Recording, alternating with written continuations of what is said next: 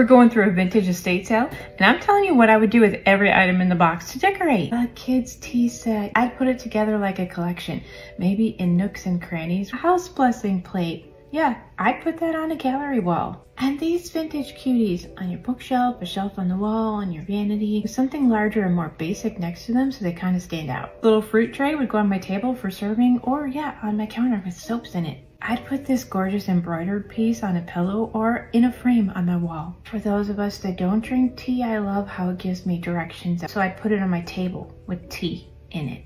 Yeah, we have another stack of good ones. I guess I'm gonna have to get creative. I would store this one on my speedboat for when I need extra reading. In the bathroom for those long Never mind. In a gift basket for a friend with some other blue and white things. Don't hate me now, but I would take the pages out of this one and make it into a book box for my craft room. I could use these together as a centerpiece on my table to prop things up. These lead crystals, I might put them next to the tub with some great florals surrounding them. Right in the middle of a display shelf, like the focal point.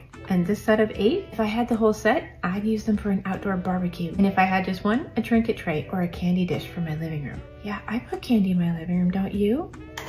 Let's do our thought for the day. The way you tell your story to yourself matters. That's so true. Tell yourself a great story. And you guys, thanks so much for all the ways you support Whimsy Barn. Come back tomorrow. We'll do it again.